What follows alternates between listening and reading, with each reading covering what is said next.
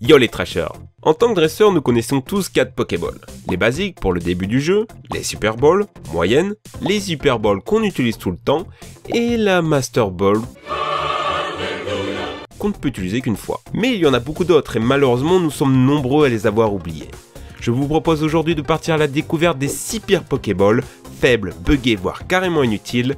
Les amis, c'est parti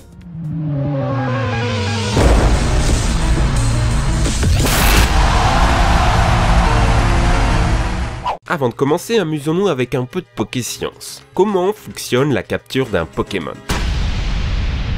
Ne vous inquiétez pas, c'est pas aussi dur que ça en a l'air, et en fait vous connaissez déjà toutes les forces en présence.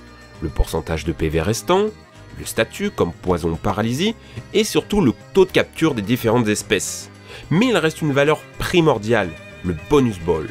Plus ce chiffre est haut, plus une balle sera efficace. Ainsi, une Pokéball a toujours un bonus ball de 1 et par exemple une sombre ball utilisée la nuit de 4. Il existe 27 Pokéballs différentes et 6 d'entre elles sont de vrais désastres, chacune à leur manière. Alors quelles sont ces balls et surtout pourquoi devriez-vous les fuir comme la peste? Sixième position de ce classement, la Safari Ball. Disponible uniquement dans les parcs safari des 4 premières générations, cette ball sera votre seul ami durant vos chasses au tauros, aux rhinocornes et autres sacs de nœuds. Mais on ressort de nos séances de capture avec un sentiment clair, la Safari Ball est juste trop faible dès qu'il s'agit d'aller chercher des Pokémon un peu rares. Car rappelez-vous, entrer dans une zone Safari signifie laisser sa Dream Team au PC. Vous pouvez influer sur vos chances de capture en balançant du bordel sur les Pokémon sauvages, mais impossible de faire baisser leur vie, même en les lapidant à répétition.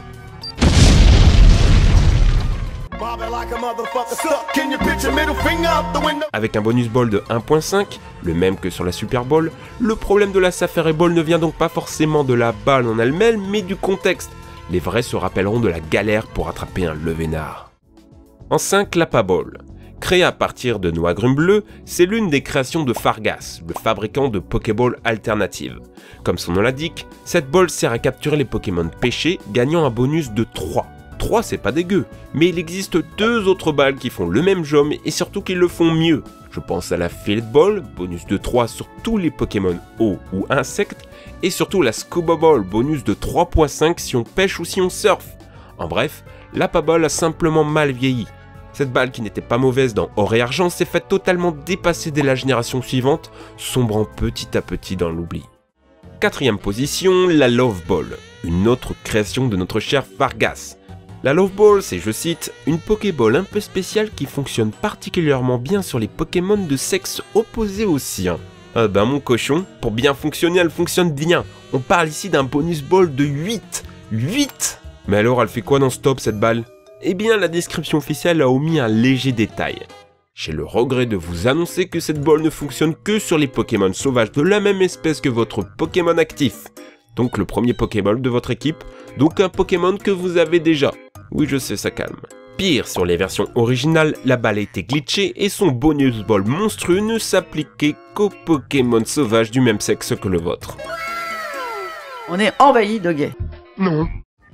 En 3, la Soin Ball arrivée avec Diamant et Perle. Son bonus ball est toujours de 1, mais cette balle soigne complètement le Pokémon que vous capturez.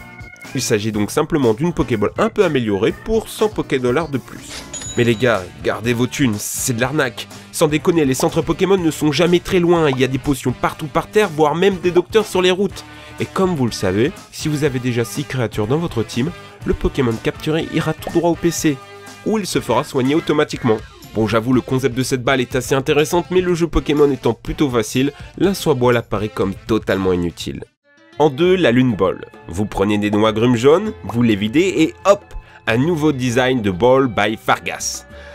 Ah, encore toi, mon vieux. Pourquoi tu nous infliges ça? La Lune Ball, donc. Elle possède un bonus ball de 4 quand elle est utilisée sur les Pokémon évoluant avec une pierre lune, c'est-à-dire durant la deuxième génération, les créatures appartenant à la famille de Nidoran, de Mélofée, de Rondoudou et c'est tout. 6 Pokémon. Plus spécialisé tu meurs. Pas besoin de vous faire un dessin, vous n'utiliserez jamais cette ball. Ah, et bien sûr, elle était aussi glitchée dans les versions originales. Elle gardait un bonus ball de 1 quelle que soit la situation. Enfin, première position de ce top, l'Honor Ball, la plus célèbre offre promotionnelle du Pokémon. Achetez 10 Pokéballs ou plus et les vendeurs vous refileront en cadeau cette balle stylisée. Gardant un bonus ball de 1 dans toutes les situations, l'Honor Ball n'est en fait qu'une Pokéball déguisée. Ce n'est rien de plus qu'une opération marketing, un rabais de 10% sur l'achat de 11 Pokéballs.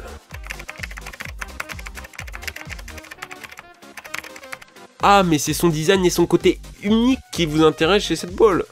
Pour tout, c'est vrai, sa traduction littérale est la balle de l'honneur, et son look épuré style Apple fait son petit effet. Mais non, ouvrez les yeux bordel, tout ça a été créé de toutes pièces, basé sur le fait que l'on ne peut pas acheter à l'unité.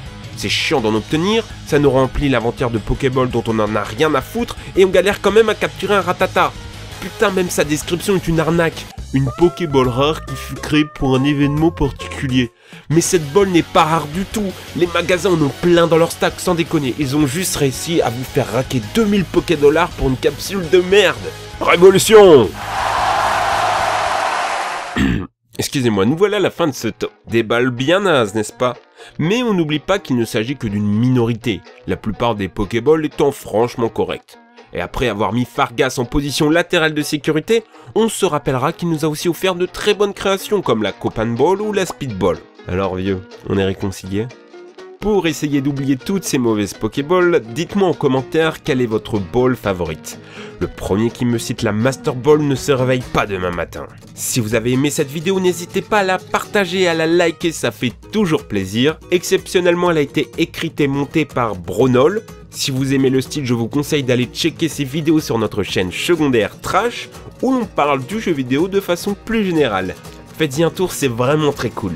Allez les amis, ciao